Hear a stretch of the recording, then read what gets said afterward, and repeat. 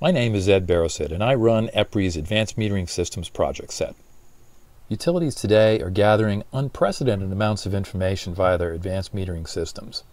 To be able to take this vast amount of data and turn it into some actionable intelligence is really important. Having a platform by which to do that is vital. The grid is becoming increasingly complex.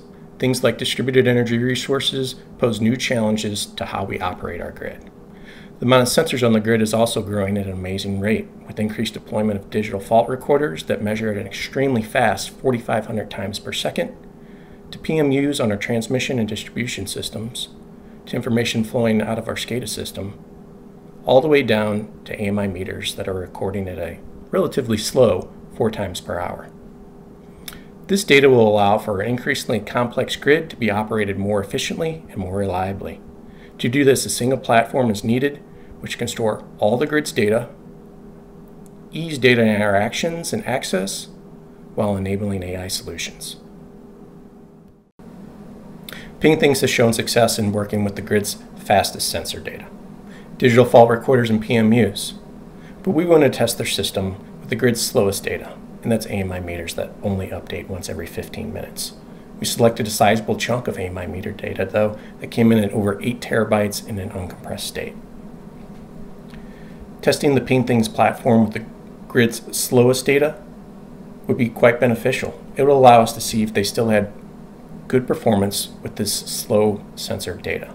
And if they did, well, their platform is then a single grid analytics solution. But we wanted to do this by tackling real world problems. And we chose secondary connectivity modeling and customer phase identification, which are both foundational for having an accurate grid model as well as good customer experience. Solving real world problems is important.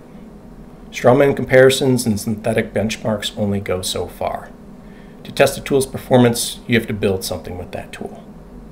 And to tell us more about what we built, I'll kick it over to Ankush, a data scientist at Ameren. We now look at how we perform the benchmarking of the two platforms. At Ameren, we collected the raw data and handed it off to PingThings.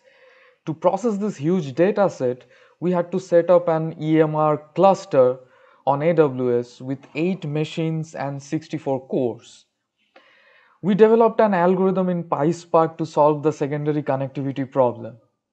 The algorithm is based on correlations between voltage signatures for every pair of meters. PingThings also refactored our algorithm to run on their platform.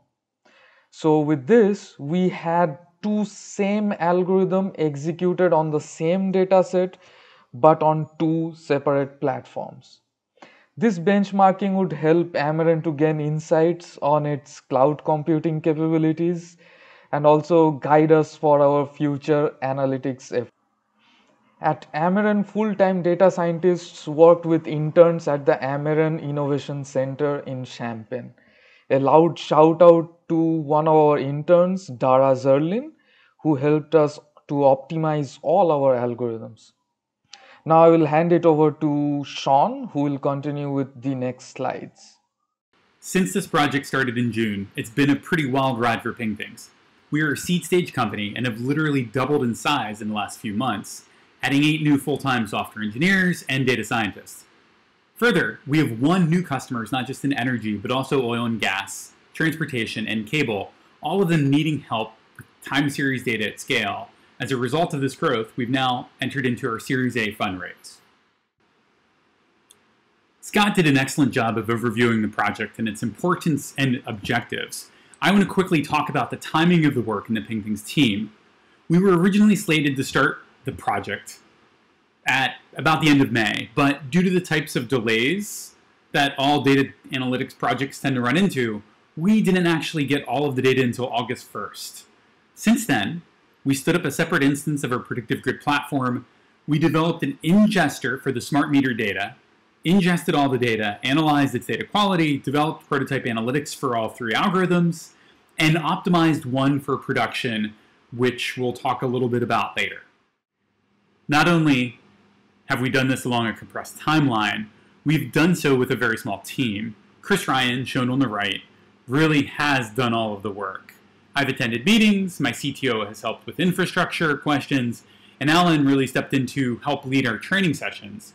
But Chris did all the work, and the thing to note is that he was hired during the summer and basically learned to use the platform on the fly as he executed. The platform we've been talking about is the Predictive Grid platform.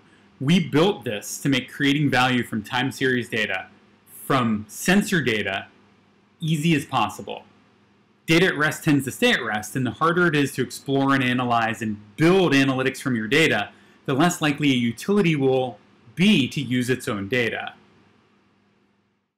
Scott has been urging me to make sure that everyone understands the platform's advantages.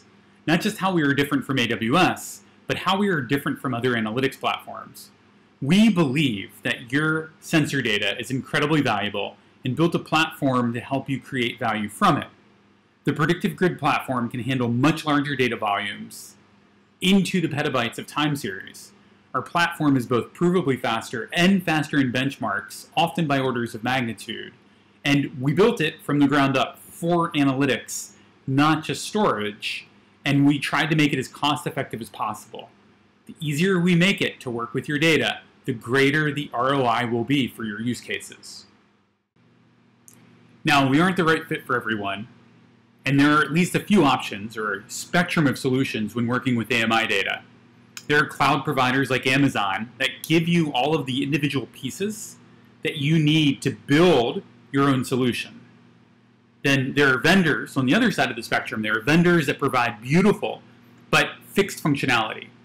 As Henry Ford said about the Model T, you can have it in any color you want as long as it's black. And then there's Ping Things, or I should say Goldilocks. We're in the middle. We're trying to offer flexibility with insane performance so that you can quickly build analytics. On the surface, the two processes that Ameren and PingThings focused in building out a similar set of analytics for smart meter data, they look similar, but there are some very critical differences. First, when you build your own platform with AWS, you face the three-body problem between your users, IT, and AWS. Your analytics groups are the users or customers.